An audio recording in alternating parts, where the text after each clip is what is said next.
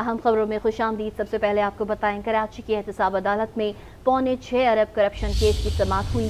शर्जील मेमन समेत दीगर मुलजमान पेश हुए। अदालत ने दार अख्तियार चैलेंज करने की दरख्वास्त मुस्तरद कर दी। इसी पर मजीद तफसीत हासिल करेंगे नुमाइंदा आज शमील अहमद से। शमील अपडेट कीजिएगा।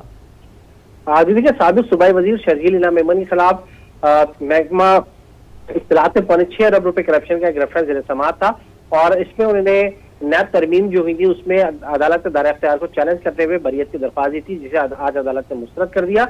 अदालत का कहना था कि नैब तरमीम से मुताबिक सुप्रीम कोर्ट के अहकाम के बाद दरख्वास्त गैर मौसर हो चुकी है। केस का ट्रायल जहाँ रुका था, वहीं से शुरू होगा, गवाहों को बुलाया जाएगा और केस को चलाया जाएगा। अदालत ने यह भी बताया कि सुप्रीम कोर्ट का हुक्मनामा मिल चुका है और उस पर अमल दरामद अमल दरामद किया जा रहा है उसी अहकाम के तहत इस पाँच अक्टूबर को दोबारा गवाह को तलब किया जाएगा और मुकदमा जहाँ से खत्म हुआ था, वहीं से दोबारा वो शुरू किया जाएगा। जी। शर्जील मेमन समेत दीगर मुलजमान पेश हुए। हमें अपडेट करे थे शमील अहमद। बहुत शुक्रिया आपका।